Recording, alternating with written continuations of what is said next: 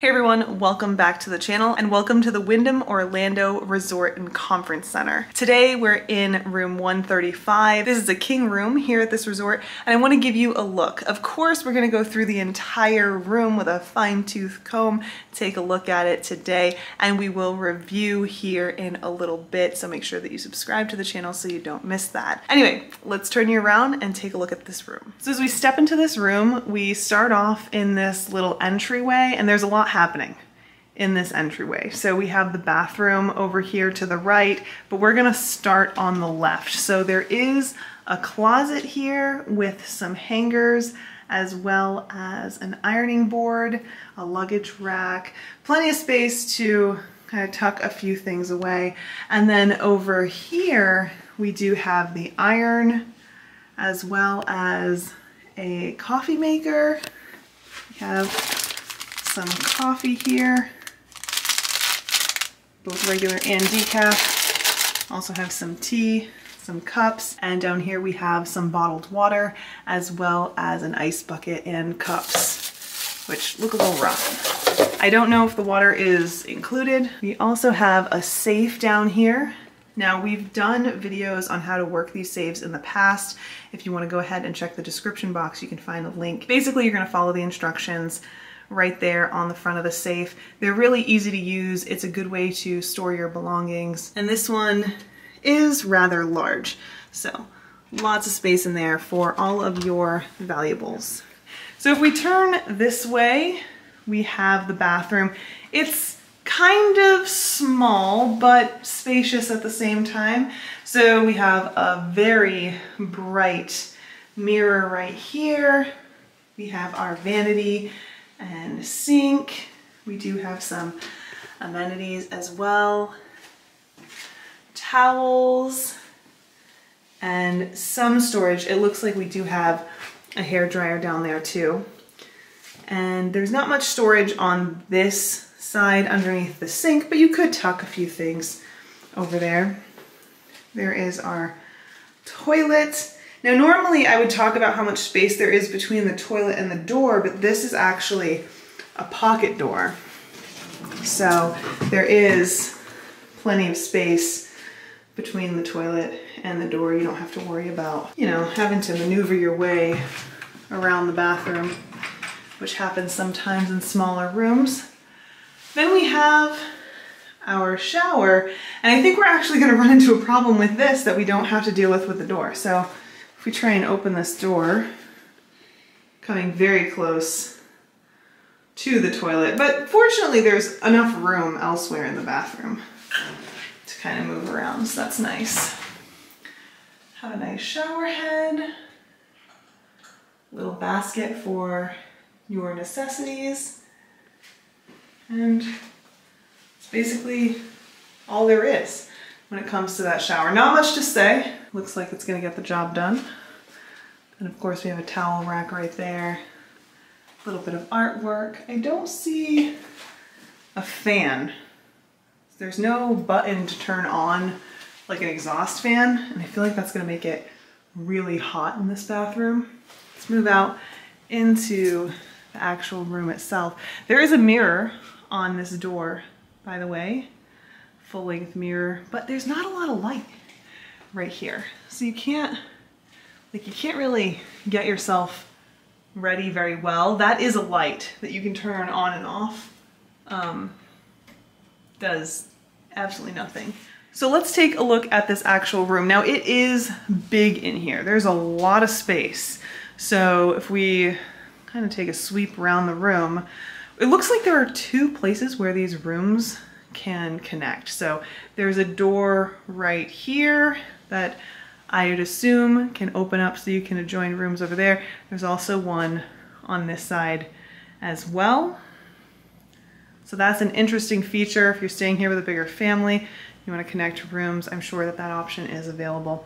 There's also plenty of room here on the floor to put strollers, ECVs, and what have you, although there are no plugs in this area, so nowhere to charge on this side or on this side. So anyway, we're starting off over here. We do have our controls for the thermostat. Let's actually see what that looks like.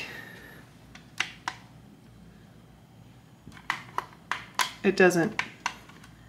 Okay, so that doesn't work. So we will see if there's another way to control temperature, probably over there on the air conditioning unit, but we'll get there. So we do have a television here. We do have a dresser where you can put your things. Nice wide drawers. There's only three. I don't see you needing many more in this room. Mainly because this is just a king. So really no more than two people in here. And then we do have a refrigerator, which is nice. Let's take a look. It's rather small, but it will definitely get the job done. It's not really cold in here right now, but it's definitely working. Then there's a little bit of space up here too. If we turn this way, we have the king size bed, which doesn't have any special linens or anything on it, just plain white as we see more and more at different hotels around Walt Disney World and elsewhere. And we do have two nightstands on either side of the bed. Now you can clearly see that there's plenty of space on either side of the bed for each occupant to get up. No problem when it comes to space in this room. We have a nightstand over here with a clock, got a drawer, and there is space under the drawer to tuck some things away. Is there space under the bed? No.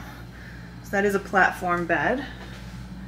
We do have multiple outlets here and of course a light which can be turned on and off with this switch. On the other side of the bed, same setup, but without the clock radio, instead we have the phone. So we don't have as much charging on this side, although we do have two outlets. Same thing with the drawer and space underneath. Then of course, the light. Now if we swing this way, you'll see some of the artwork on the wall, lots of beiges in this room. And that's where we'll find our air conditioning unit. Now this is a wall unit, as you can see, and it says right here that this air conditioner is controlled by a wall thermostat, not by this. But this is working and that one most definitely is not. So that's something worth noting. Of course, we're gonna do a review later, but I always like to keep an eye out for stuff like this because this is the little type of confusion that can make a trip a little bit more stressful, unnecessarily stressful. So just something to note. Above the air conditioner, you can see we don't have any version of a view in this room, but that's all right. We do have some big windows here so we can let in some natural light, but we're not, we're not seeing much of anything. And then here we have a desk, which is great because this is a conference center. So maybe you're doing some work. We have a light and then of course a little desk lamp as well. We have two charging ports on this desk lamp. There are some outlets over there, but not much to say about this little desk. We do have a chair here as well. And then over here, we have our trash and recycling. So that's about it for this resort and conference center. Again, this was room 135. Just a quick overview, give you an idea of what to expect from one of these rooms. Again, this is a king room. I'll have more information in the description down below, so be sure to check that out. And of course, we'll be doing a review of this here on the channel as well. So subscribe so that you don't miss it and let us know what do you think of this room? What do you like about it? What don't you like? Tell us all about it in a comment. But that's all for now. Thanks so much for watching and we'll see you in the next one. Bye.